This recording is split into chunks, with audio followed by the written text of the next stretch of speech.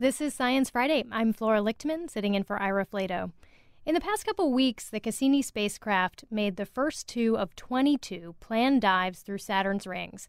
This is part of a dance that will end in the probe's fiery demise in September. And here to tell us about what Cassini is seeing and other science news from the week is Rachel Feltman, science editor at Popular Science. Welcome back. Thanks for having me. So, what's the news with Cassini this week?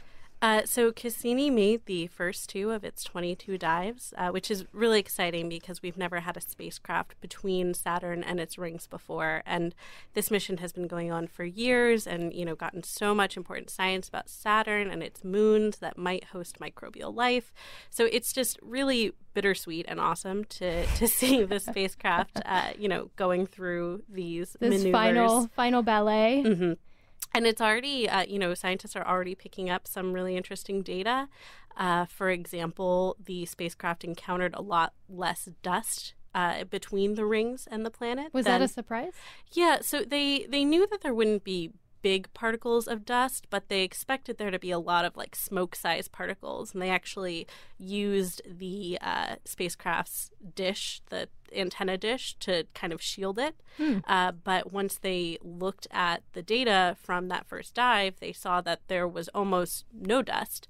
Um, so that's an interesting thing for them to think about when they're trying to figure out the origin of the rings, which is something that is still not really settled. And the dust can be dangerous for Cassini? Oh yeah, it's traveling at I want to say it's 77,000 miles per hour. It's it's a lot. um, so even tiny particles of dust, if they collide, you know, while Cassini is moving at that speed and hit just the right electronic part, it could completely ruin the spacecraft. Oh wow! So, so what should we be looking for in the coming months from Cassini before September? Uh, there are definitely going to continue to be some really cool images. Uh, you know, we're getting closer to the atmosphere of Saturn than we ever have before. So we're going to see uh, all of its weird storms, you know, that hexagonal Ooh. storm. Yes, I saw that. Yeah, there, there's a lot of weird weather activity on Saturn that we don't totally understand. So that blew my mind, the hexagonal storm. I know, it's, it's wild, and scientists don't really know how it you know forms that regular of a shape. Uh, so yeah, we're gonna see some some more close up images like that. Do you know when the next dive is? I want to say it's May 9th. It's definitely within the next couple days. I will be marking my calendar. okay, so what else do we have this week? We have a, a fun animal story. Yes. Um, so the western spotted skunk, which is a, a, really fun animal. It's this little skunk, lives across North America, um, and it does this really funny thing when it encounters uh, an adversary. Wait, it, this is not the skunk that, like the Pepe Le Pew skunk. No, Slight, slightly different skunk, very similar in a okay. lot of ways. Still, like you know, shoots stinky stuff at, at its uh, predators. But this one, it'll get on its hands and do like a running handstand to intimidate what uh, its adversaries. It's it it's supposed to make it look bigger. I think it kind of makes it look like a like a black and white pineapple, but um, I guess it works. Uh, but a reason scientists are interested in the skunk is that it's divided into several subspecies. You know, which happens a lot. Uh, species get divided by geography and breed only in within their own groups, and they form these subspecies. This uh, is called clades. Yes. Do I have the term right? yes. Okay. Uh, but those clades that exist today don't correspond to the things that divide them today. It's not like, oh, on this side of the mountain range you have one and on this side you have the other. So scientists wanted to go back and figure out at what point in their evolution they split up and why. And they found that it was actually due to an ice age, uh, that probably they were separated by these glaciers, uh, and that that's, you know, where the subspecies that we see today originate um, which is, you know, an interesting thing to think about as the climate is changing again. Well, I was going to ask, does that mean that we would expect to see more clades in the future? Well, you know, we already see different animals that are, are definitely being driven to new places and, you know, uh, eating new prey and uh, exhibiting new behaviors because of climate change. So it's very likely that we're going to see different subspecies branching off because of the influence we're having on the planet. Hmm. Everyone should really check out the skunk and the handstand. it's very cute. Do you have it on your website? Can yes. people see it at PopSci? It is at popsci.com. It's worth it for the headstands, really. um, okay, so what about this hacking? This uh, this this Google news. Right. So uh, yesterday, I believe, or maybe the day before, um, there was this very widespread phishing attack. Uh, basically hackers were trying to trick people into giving up their login information, which happens all the time. But this one uh, seemed really designed to target people who think of themselves as too smart. Like to, super, super users? Yeah, yeah. It was basically, it, it tricked you into thinking that someone was sending you a Google Doc. And once you click through, you gave permission to this third party app and put your login in. But it was relying on the fact that people are so used to receiving Google Docs and clicking through uh, that mindlessly, they, right? that they didn't stop and think about it. Um, so it's just a really good reminder that first of all, Google is not uh, infallible. You know, the the spam filter is really good, but apparently there was nothing to stop a uh, hacker from naming their third party app Google Docs, which seems like an oversight. Um, so that's one thing to remember. And the other thing is that, you know, anytime you open an email, even if the initial thing doesn't seem uh, suspicious at all, it's important to think twice before entering your login info good to keep in mind. And what about our? You have one more story for us before it's you really go. Good. Okay, what is it? uh, so, uh, Body Farm, which is basically these research facilities set up to study human decomposition uh, to help forensic scientists make better assessments of crime scenes, etc. Uh, one of them captured a deer eating human remains, uh, which has never been caught what? before. Um, this is um, so morbid. It really is. Um, this is like as dark as as we could end. Really. Yeah, and you know, in some ways, it's not surprising. We already know that deer are opportunistic omnivores, and humans are made of meat. But it's still weird to think about, and also gives forensic scientists uh, something new to look for when they're uh, studying crime scenes. What do you mean? What do you mean? Like look for deer with bones in their mouths or what? well, so the bone, the marks they left on the bone were very different from the marks you'd see from a carnivorous scavenger. Uh, so you know now if they see these marks, they'll be able to say, uh, you know, this this was because a deer ate the body, not because of the way they were killed, which is morbid but important. Thank you for being with us today, Rachel. Yeah, thanks for having me. Rachel Feltman is the science editor at Popular Science. Now it's time to play Good Thing, Bad Thing.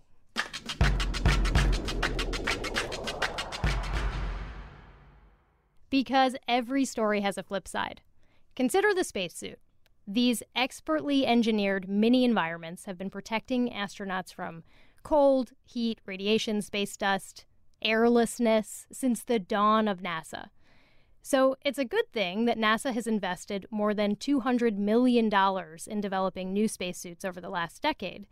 But a new audit of this investment suggests not all is well. Here to explain the good and the bad is my guest, Lauren Grush, a science reporter for The Verge. Hey, Hi, thanks for having me. Thanks for coming on. Yeah, of so course. what's the good news?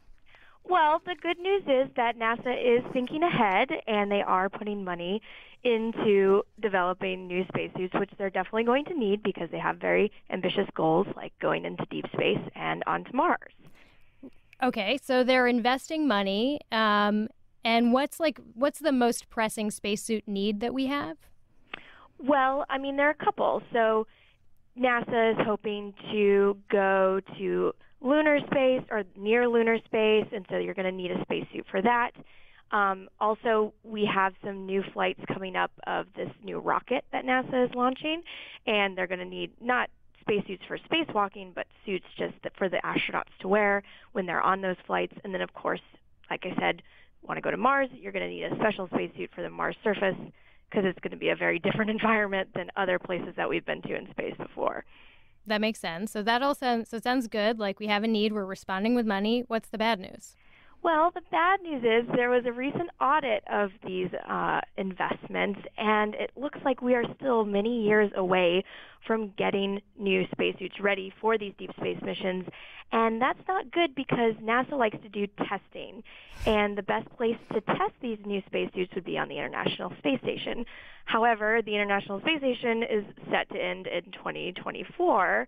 And if those spacesuits aren't ready in time, it's possible we might not have the ISS to test those spacesuits out on. Ooh. I assume there are probably ways to test here on Earth. Yeah, but to really get a good test ground, you want to go where you're going to be, you know. So, that makes sense. It makes sense. Zero gravity is you can't really get that anywhere else but in space.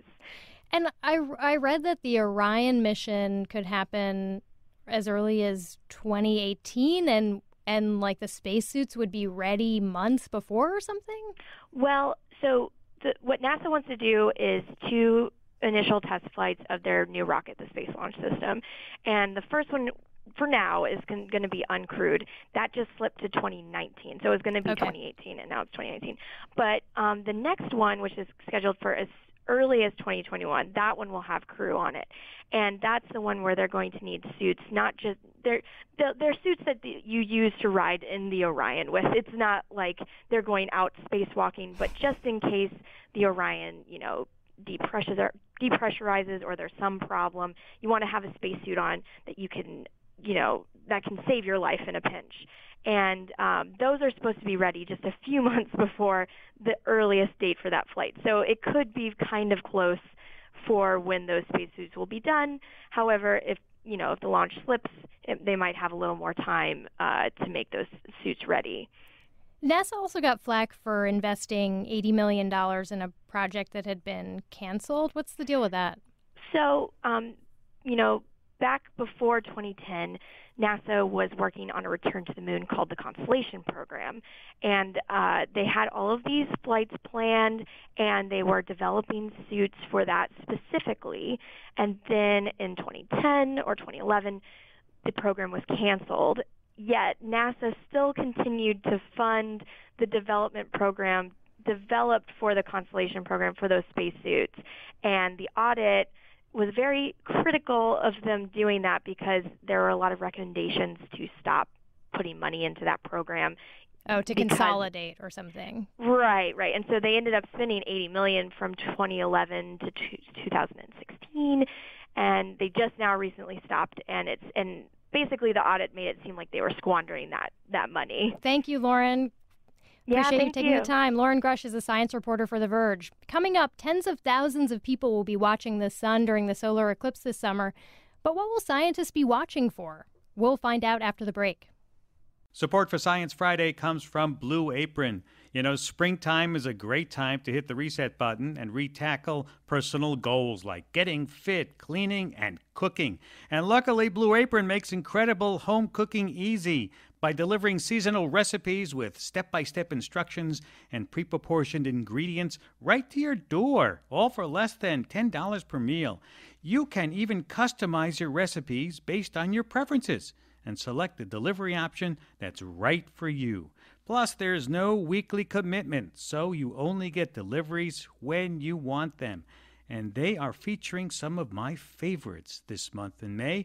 There's beef teriyaki stir fry with sugar snap peas and lime rice, three cheese and baby broccoli stromboli with tomato and oregano dipping sauce, and crispy salmon with roasted potato salad with pickled mustard seeds. Mm. So check out this week's menu and get your first three meals free with free shipping by going to blueapron.com/science. You will love creating incredible home-cooked meals with Blue Apron, so don't wait. That's blueapron.com/science. Blue Apron, a better way to cook. This is Science Friday. I'm Flora Lichtman. I don't know if you heard, but the place to be on August 21st is Hopkinsville, Kentucky. At exactly 1:24 p.m. Central Time, the sun over Hopkinsville will go dark for exactly 2 minutes and 45 seconds. And that's because this summer the continental US will have its first total solar eclipse in about 40 years. The path of the eclipse will stretch from the coast of Oregon all the way down to South Carolina, and Hopkinsville will have the longest stretch of darkness. And there is a group of solar scientists who are pretty pumped about this, and that's because the eclipse is a chance to learn new things about the sun. So while tens of thousands of people will be staring up at the sky this August, solar scientists will be taking photos and even flying through it. What about you? Are you an eclipse chaser? Do you have a question about what you can see during the solar eclipse? Give us a ring. Our number is 844 724 8255. That's 844 Sci Talk or tweet us at SciFri. Let me introduce my guests.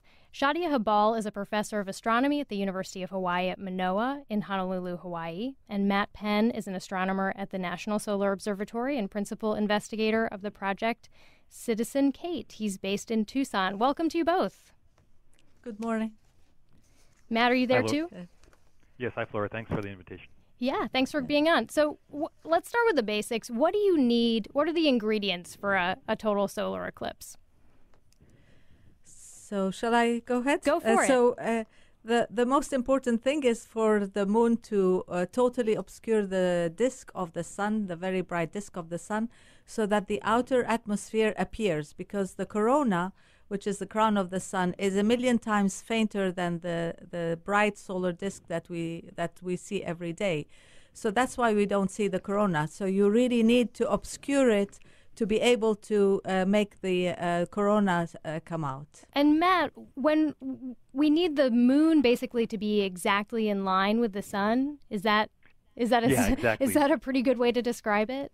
Exactly. And so, you know, um, you know, if if you're thinking about your house, um, everybody has little specks of dust floating around, you know, in their house, and uh, you really can't see them normally. But if you have a bright light in a room and you block it out with your thumb, then the light reflects off of that light uh, source, uh, off of the dust and into your eye. So the same thing is happening during an eclipse. Um, the sunlight is reflecting off the gas in the atmosphere of the sun and into our telescopes, but we really need the moon to block out the bright source so that we can see it. I want to get back to the corona in a second, but before we do, I just want to go over some uh, more eclipse basics for people who, you know, citi- citizens who are interested and might see it. Um, we I talked to some eclipse chasers for a podcast that I host called Every Little Thing from Gimlet Media about the eclipse experience, and here's how physicist and eclipse chaser Frank Close describes it. And, and then the, the shadow of the moon is, is darkness. You see the night sky above you. You can see Venus and uh, a couple of stars. And then as you come down towards the horizon, this dark dome turns into a deep purple and then a maroon. It looked as if life and energy and everything have been sucked off into the depths of space. In that moment, everything that you take for granted has suddenly gone. This sounded really intense to me. Matt, is that your experience of seeing an eclipse? Um, you know, some of what he describes is really beautiful, and I think the corona is a really beautiful object in the sky. But when the sun goes away, it's just it's wrong. The sun's not supposed to go away. You know, um, It's scary. So, yeah, it, is. And and you know, I like to think of it if you're a rabbit and the shadow of a hawk passes over you, you know that something's wrong. You know, you're about to be eaten and you need to run. Um, and so maybe that's a similar uh, feeling that we have is uh, as the shadow of the moon passes over us, we get some sort of primal urge and some realization that this is wrong. Mm. I, I feel very compelled to see it. Shadia, you are an eclipse chaser yourself. Well, yes, I do it for science. Yes, yes, for How many- scientific purposes. How many have you seen? Uh, well, I've tried to see 14, and uh, we were clouded out uh, by four, so I would say I've seen 10 eclipses.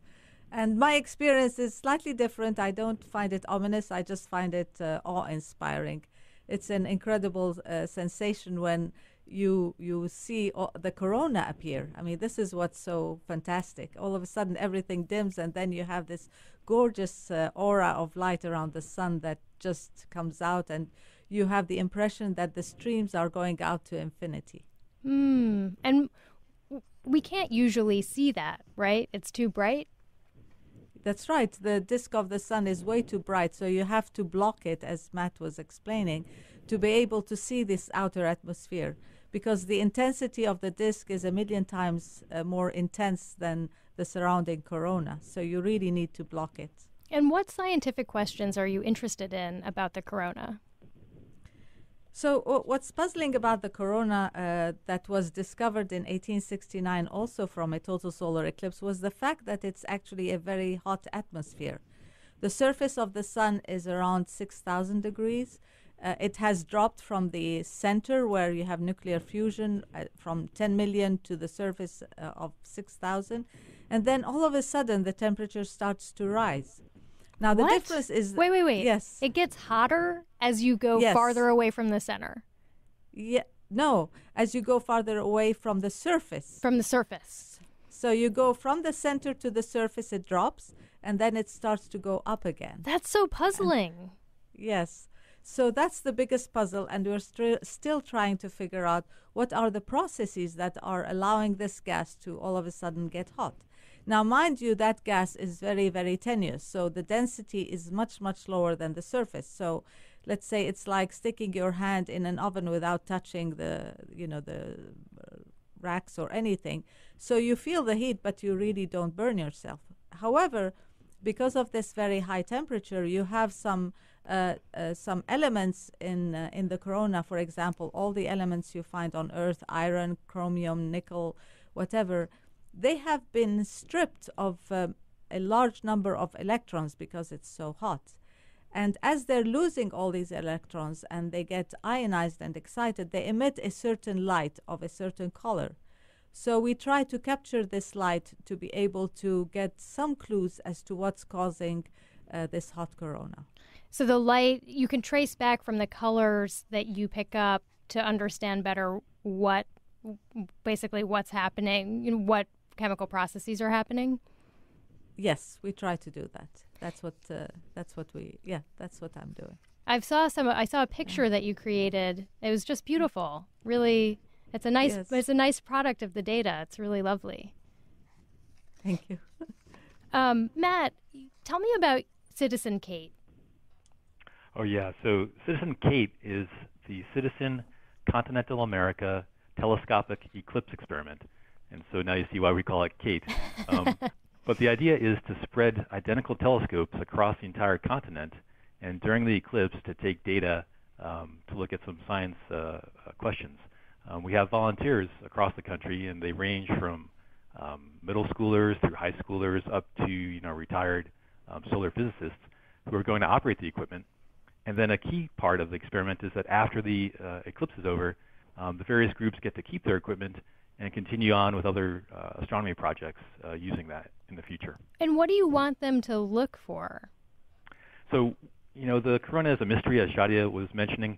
Um, one thing that we think is we're, we're, going to see in our data are these polar plumes. So above the north and the south poles of the sun, we expect to see these um, really thin threads of gas, uh, which are constrained by magnetic fields.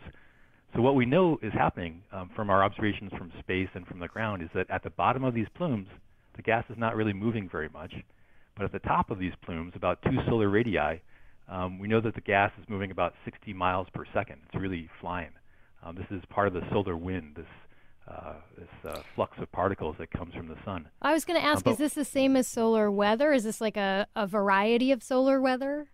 It's it's a type, and you can think of um, a, a terrestrial analog. So uh, if a storm comes along on the Earth, you need to understand the wind that's blowing it along to be able to predict where it's going to hit and what, what it's going to do. Um, so the sun emits flares and, and basically storms in the solar wind, and the solar wind carries it um, throughout the solar system, and it may impact the Earth. So one of our goals is to understand how the solar wind is accelerated to get some basic understanding about how we can then predict solar weather better or space weather better. Hmm. And citizen scientists will be helping with this effort. That's so cool. It's it's a real team effort, and and I'm just really enjoying working with a lot of the people. A lot of people, of course, are volunteers. Uh, many are students. Um, they're getting to use some really interesting equipment, and you know you can tell they're excited about it, and they'll get to experience the eclipse as well. And then it's a win-win. Um, we get a unique data set as scientists to understand the eclipse and the the processes in the solar wind that we wouldn't get otherwise. Let's go to the phones. Janet in Hillsboro, Virginia, you're on Science Friday. Do you have a question? I do. I'm wondering to be able to look at the eclipse and view the corona, do you need any special viewing equipment? Just get a pair of sunglasses or just with a naked eye can you watch it? Oh. Yes. Um, Go for before it. totality, what you'll need to use are some special solar viewing glasses. So regular sunglasses won't work. But when any part of the bright solar disk is visible, you need a special glass, uh, solar viewing glasses to protect your eyes. Um, but it's key that when totality happens, that is, when the last bit of the bright sun is covered up, you can take off these solar glasses and just look at the corona with your naked eye. It's, it's about as bright as the full moon. Are these things going to sell out? Like, do we need to get get our glasses in order now? yes, probably. Definitely. Yes, yes. Did that answer your question, Janet? Where do you buy them on Amazon, or where can you find glasses like this? um, uh, Rainbow Rainbow Symphony is one uh, one source. They, it's a company that sells them.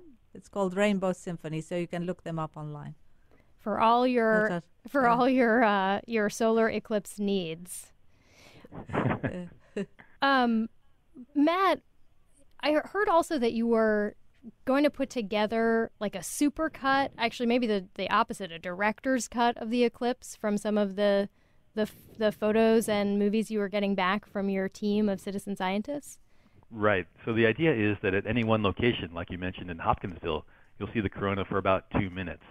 Um, but by having a string of telescopes across the country, it'll take 90 minutes for the shadow of the moon to move from Oregon to South Carolina.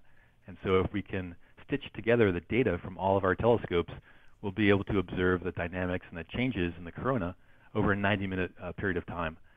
So um, yeah, after the uh, I'll be in Idaho, but after the eclipse is over there, uh, I'll be in a little dark room trying to get data from all of our uh, various sites and stitch it together to form a, a rough cut movie that night. Will I be able to watch it on YouTube? Um, yes. Shadia, I, I heard that, that um, people were, would be flying through the eclipse. Can you describe what what that's about, what the goal is, and have you done that? Uh, I haven't personally done it, but I in 2015 we had a, a, a small group from my team who were on a on a flight over close to the Faroe Islands because uh, the totality also went uh, over the North Atlantic and over the island of Svalbard. So we were on land on Svalbard. But the people who were on the plane uh, got to see it. It's uh, uh, of course you're above the clouds, but then it's very difficult to collect data because of the very slight vibrations in the aircraft, even though you know they were reduced with some uh, gyros and whatnot. But there is a a, a, a NASA uh, airplane that's going to fly. Uh, above the clouds uh, to observe the to collect a, a, a spectrum of the sun uh, during totality. And this is to maximize the chances of obtaining observations because the biggest fear is to have a cloud or to, to have rain during totality. So when you go in, in uh, above the clouds, then you maximize your chances, but then it becomes much more expensive because you have to take uh, to make uh, special provisions for the jitter in the aircraft. Hmm. I'm Flora Lichtman, mm. and this is Science Friday from PRI, Public Radio International.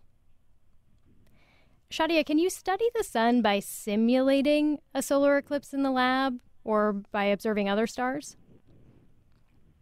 Uh, simulating? No, you don't. You can't do it by simulating in the. I guess lab. I mean, uh, like, could you l- take a telescope and block out the sun? Oh yes, and look at yes. the corona that way. Yes, yes, of course you do, and this is what's done in uh, most uh, space-based uh, uh, uh, telescopes that look at the sun in the visible part of the spectrum, the part that we see with our eye. And uh, but the difference between those and the total solar eclipse is that this blocker that they use, which is a man-made blocker, is fairly small, and then it it doesn't uh, see the beauty of the eclipses is you start to look at the corona from the solar surface out to several several solar radii. With a man made occulter, you are limited to the distance range that you can cover. So sometimes you lose, lose details that are uh, you can only see during a total solar eclipse. Let's go to the phones again. JD from Fort Lauderdale, Florida. Welcome to Science Friday. Yes, hi. I'm an avid listener, first time caller. Um, I've got an interesting story. When I was uh, way back in high school, uh, a little solar eclipse of 71, 72, I don't remember exactly what year.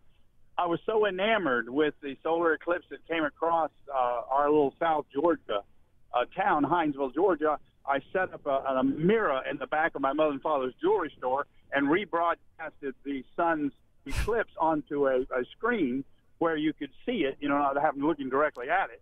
And uh, again, that's what made me uh, get all enamored with all things solar, and then later to become uh, which now I'm a retired renewable energy executive. But that's what got me all all renewable energy. That's what made me Solar Man JD. Wow! And uh, it was all because of it was all because of that total eclipse that we got to view in the 70s, in early 70s, there in South Georgia. Oh wow! Will you be going to see the eclipse this year? Well, I'm going to do my best to. I'd love to be able to, but I will be watching uh, because I believe the doctor there is going to be doing a live uh, a live simulcast of his of his group that's going to be doing it. So I will definitely be watching the live simulcast, and all the young children uh, that needs to watch it and see it, and hopefully some of those minds will work the same way that we had that that, that, that impressed on me at such a young age to go into uh, all things solar. I love that idea. Thanks, JD. Sure. Matt, I, that mirror trick, I'd never heard of that. Is there any um, like fun things that people can do during the eclipse or, or things that people should plan to do during the eclipse? Oh, yeah, certainly. Um, if you have a, a pinhole um, in just a piece of cardboard, you can project an image of the sun onto something um, and, and see the crescent during the partial phases. But you don't really need just a pinhole. Um, during uh, the phases where there's just a little bit of a crescent left, um, any shadow looks very strange. So you could hold up your keys and see that they have little crescents uh, where normally they would have straight lines and edges. Um, you could uh, um, look under trees and see uh, an array of little crescents projected onto the ground rather than uh, normal sunlight. We're going to have to leave it there. We've run out of time. I'd like to thank both of you. Shadia Habbal is a professor of astronomy at the University of Hawaii at Manoa in Honolulu, and Matt Penn is an astronomer at the National Solar Observatory and principal investigator of the project at Citizen CATE. Support for this podcast comes from Tile.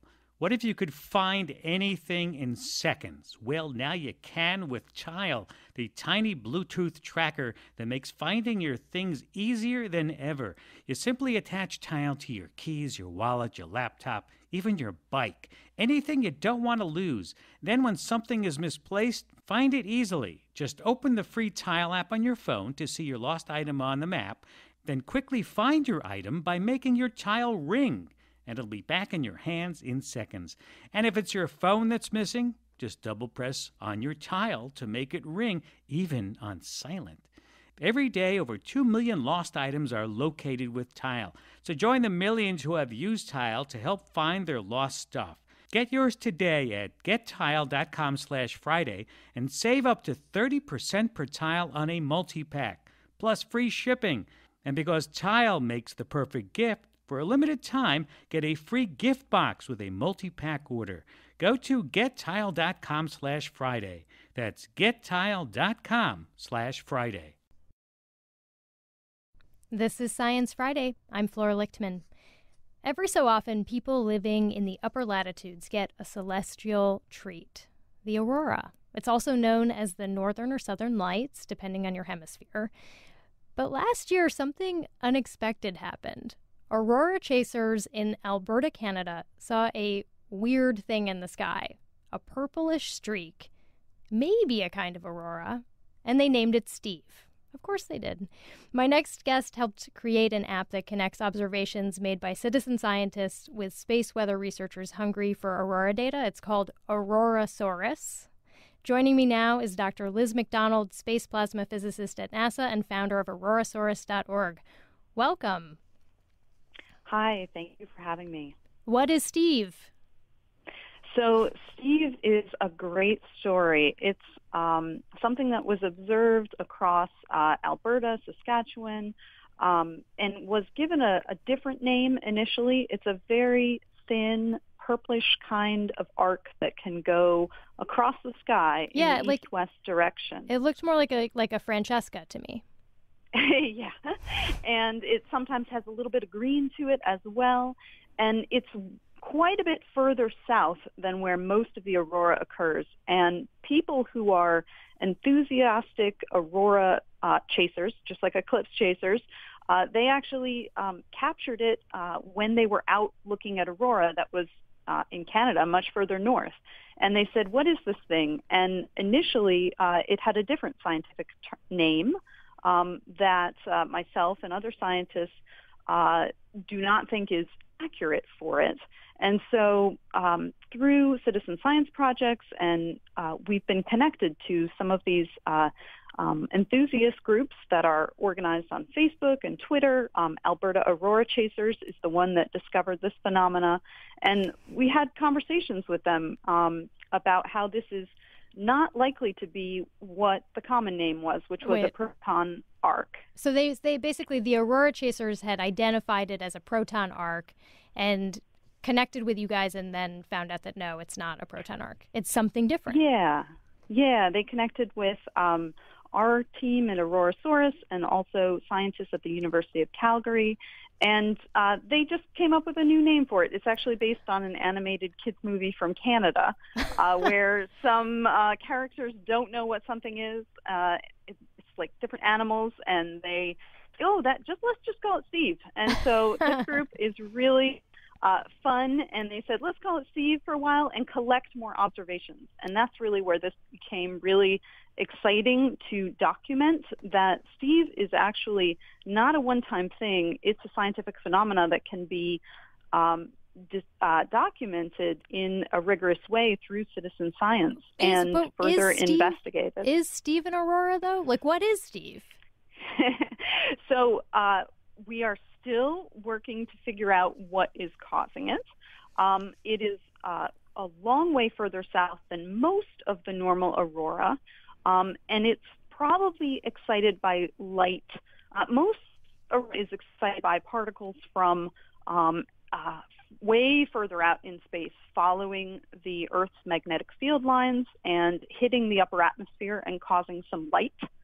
Um, and so there are a couple that could be happening with Steve, um, or it's possible that the upper atmosphere itself is chemically exciting some of the light here, and that's something that we're still piecing together. Some of the satellite observations and some of these really interesting um, uh, DSLR camera observations to um, further understand, as well as other uh, ground-based camera observations, uh, scientific observations. Tell me about this. Why eh, that did DSLRs? Did basically citizen scientists help find it? Like, was it in the sky before, and just we didn't see it because we weren't looking in the visible range or something? Uh, we've been looking in the visible range, but not um, in this uh, location, which the technical term is sort of sub-auroral, but really what this means is, you know, across the U.S.-Canadian border kind of latitudes. And the scientists um, uh, missed it largely. Um, some people had seen it, but it hadn't been published that we know of yet. Wow. And yeah, and it's pretty obvious in a DSLR camera. and um, there are other cameras um, across Canada. There is a great network of auroral cameras, um, but they're generally further north because that's generally where the aurora is. And now um, the sun's activity actually drives aurora, and it gets more active every 11 years. And so the last few years have been more active, more aurora has been seen at these more southern latitudes. And now people have better cameras, they have smartphones, they have Facebook and Twitter. And so all of these things together have combined to really help us um, connect in, in unique ways and improve our understanding of the system um, and make a discovery really um, with people's help or much better understanding of this rare kind of aurora. That's cool. So, what is there a simple way to describe how an aurora is formed? Uh, well, normal aurora, as I said, is driven by the sun, starts up from the sun. Um, one way I like to describe it is um, uh, thinking of like a glitter of charged particles coming from the sun. Um, and A what is charged particles? Uh, We may have lost you for a second. A, a glitter bomb. Oh, I'm so glad that we Uh, asked. A glitter bomb. yeah, but the but the glitter is actually all invisible um, until the very end of this chain reaction that causes the aurora, and uh, and it travels an enormous distance. It travels 93 million miles out from the sun in all directions, and sometimes uh, hits towards Earth where it interacts with the Earth's magnetic field region. And there it gets really complicated uh, as far as how the interaction occurs. Hmm. And eventually that energy is released um, in kind of an oval shape at the high latitude regions, where it then creates the light of the aurora and all of this beauty and dynamics that you can see. Why does it only happen at, at the poles? Um, so that's because of the way that uh, the Earth's magnetic field is largely shaped like a dipole magnet, um, but it gets uh, the dipole actually gets stretched uh, away from the Earth-Sun line uh, because the Earth is kind of uh, sitting in the flow of the solar wind, streaming past us at a million miles an hour, and so all this glitter is coming um, towards the Earth's magnetic field uh, region and streaming past us and streams towards the um, uh, is processed through the Earth's magnetic field region and ends up uh, stimulating aurora from regions closer to Earth that are still a long way away, hundreds of thousands of miles, and um, at these high latitude hmm. field lines. Before we let you go, are there are there like any big aurora unsolved mysteries? I guess besides Steve. Uh, there are a lot. Um, it's it as I said, a lot of the processes are happening um, from starting um, from 100 hundreds of thousands of miles away. And actually, this dipole magnet of the Earth's magnetic field really stretches very dynamically and very quickly. And that's what causes uh, most of the aurora to be so active. And there's a lot of that, um, specifically how it connects uh, way far out in space, that is very difficult to study um, from the number of spacecraft that we have in those regions. I'm really glad that you gave us the glitter bomb analogy. I will never look at an aurora the same way. Thank you, Liz MacDonald. Liz- Thank you very much. And thanks to all the citizen scientists who have been contributing to Aurorasaurus and other projects like this. Liz MacDonald is a space plasma physicist at NASA and founder of Aurorasaurus, aurorasaurus.org, and you can download the Aurorasaurus app too. The Atacama Desert is one of the driest deserts on Earth. Like it, it actually makes Death Valley look lush in comparison. In the Atacama, you can look around and not see any living thing. No animals, no plants, nothing. Unless, that is, you know where to look. Joining me now to talk about that hiding place for life is my guest, Michael Wing. He's a science teacher at Sir Francis Drake High School in San Anselmo, California. Welcome to Science Friday. Good morning, Flora. So tell me about this life form that lives in this very difficult to live place. Yeah, I will. Th- thanks for that introduction. I'm also the author of the book Passion Projects for Smart People, published by Quill Driver Books. It's coming out this summer. Cool. So, hypoliths are rocks in the desert that have green stuff growing underneath them. The green stuff is cyanobacteria and algae. The rocks are usually quartz or marble, so they're translucent. They transmit a little bit of sunlight through the rock to the underside, and it's better for the cyanobacteria down there. They get protection from ultraviolet light, and it's a little more humid under the rock. So if you turn over a white rock in almost any desert in the world, including polar deserts like Antarctica and also mountaintops, you very often see a bright green film on the bottom side of the rock.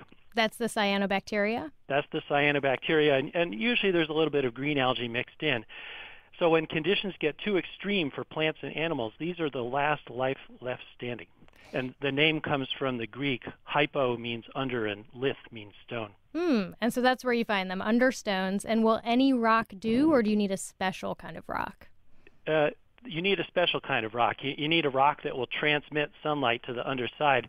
Uh, there's one exception to that, but in general, the rocks are quartz or marble. Uh, the one exception is on, uh, in some uh, polar regions, especially Devon Island in the Canadian Arctic, uh, frost heaving kind of lifts the rocks up out of their sockets, and, and light can get down underneath an opaque rock. And they need the cyanobacteria. I, I take it need the light to live. Right, they're photosynthetic. They need sunlight, but they can get by on as little as one tenth of one percent of direct sun. And they'll get fried if they're on the top side of the rock. What's why not live there? Uh, that's correct. I, I took some home from the Mojave Desert and put them on my classroom windowsill, and they just got bleached by the sun and died pretty quickly. So you've been running an experiment to try to understand these hypoliths better. Tell us about it. Well, in 2010, my students and I started putting arrays of fake stones in deserts around the world. We use glass and marble squares from a tile supply store, and they're the, the kind you might use to tile your bathroom or your kitchen. So we roughen them up with sandpaper to make their surface more natural, engrave our names and the year on them, and then we put them on the ground in sets of 60. So we've been doing a couple of these a year, and now we have um, arrays of these what we call artificial hypoliths at 10 sites on all seven continents. So we have them on Devon Island in the Canadian Arctic, Svalbard, Antarctica, the Mojave Desert, California's White Mountain Peak, the United Arab Emirates, the Atacama that you just mentioned in Chile, Australia, Namibia, and last summer I put some in the Himalayas, specifically on a high mountain pass in Ladakh, India. Uh, the idea. I, I want to hear more about that, but let me just do an ID. I'm Flora Lichtman, and this is Science Friday from PRI. Um, it sounds like you've gotten to travel to a lot of cool places. I have. I love deserts. De- deserts are beautiful no matter where you go, whether they're polar deserts or, or hot deserts or mountaintops. And it's been a fantastic excuse to travel, and I'm very lucky. Science Friday actually got a chance to visit one of these experimental sites out in California's Mojave Desert. So Chil Yes. Garcia, Science Friday's um, education program assistant, was there and is here with us now. Welcome, Sochi. Hi, Flora. It's Well- nice to be here. Hi, Sochi. Hi, Michael. What was it like to visit one of these sites? Walk us through it. um, so Michael gave us a set of GPS coordinates in the Mojave Desert. So we drove out, um, and it was three of us that went out there. Ariel Zych, who- who's our education director, actually co-wrote this resource with Michael. Um, and so we went out to the desert and we um, tramped out. We parked on a random side of the road and we walked in towards this sort of uh, and bouldered up to this area that kind of looks Mars-esque. I don't know if, if I'm exaggerating that, but you, it looks like you're on a Mars landscape, and you have to search for this small square patch of white tiles. The bathroom tiles. the bathroom tiles, um, like Michael described, and then um, we actually got to uh, dig a couple of those up and document the data from those, and so. Um, it was pretty amazing. And then Michael advised us to go out randomly and drive to a different place and walk out and just pick up white rocks. And it turns out when we picked up those white rocks, there were cyanobacteria on a lot of them on the underneath. So you can find them naturally and you can find them in these artificial hypoliths, um, these experimental setups that Michael and his team has put out. Was it easy to find the tiles? No. the, Good. the- and that that is good. We actually had a couple minutes around there where we were searching and we we were like, "Oh my god, maybe mud washed through this basin and covered them up." So we had a little bit of time freaking out, but then uh, we we happened upon um, we triangulated. There were three of us, and so we went in different directions and were able to find the sites. It's like a treasure map. It sounds like a real adventure. It was. I really, really enjoyed it. Michael, do you have other people checking on these? Who does most of the checking in on these sites? Yeah, that's a good question. Uh, and, and and not only the checking in, but also the deployment. Um, I have. Uh, most of these sites are near some scientific field station. I can check on the Mojave sites and the and the, the other California sites myself, but uh, all these sites except one I have local contacts for. Cool. So if people want to get involved, can they go to the Science Friday website? Sounds like sciencefriday.com slash rocklife. Do I have that right, Sochi? Yes, that is where you can find the resource and also connect with Michael. So we have his website up there for this project. Um, and on the Science Friday website, what we've done is on Science Friday Educate, we're trying to connect learners with the data and the real field work. And so we've put up um, some of Michael's pictures as well as ours from three different sites um, the Mojave, Devon Island, and the Namib Desert. And you can go through and look at these and grade them on a scale that Michael has created for the cyanobacteria growth. Um, so it's a pretty cool way to get into the data and the climate science. Very cool. That's all we have time for. I'd like to thank Michael Wing. He's a science teacher at Sir Francis Drake High School in San Anselmo, California, and Xochitl Garcia. She's the Science Friday Education Program Assistant. Thank you both. Thank you. And for any New Yorkers listening today, Science Friday is hosting its third annual trivia night at the Bell House in Brooklyn next week on Wednesday, May 10th. There will be drinks, prizes, and a lot of fun science trivia. You can find out more info and reserve a spot for your team at sciencefriday.com slash trivia. Charles Bergquist is our director. Our senior producer is Christopher Intagliata. Our producers are Alexa Lim, Christie Taylor, and Katie Hiler. Rich Kim's our technical director. Sarah Fishman and Jack Horowitz are our engineers at the controls here. At the studios of our production partners, the City University of New York. You can email us. The address is scifri at sciencefriday.com. And you can find me at my show. It's called Every Little Thing. That's Gimlet Media's geeky podcast. It's available wherever you get your podcasts. Ira Flatow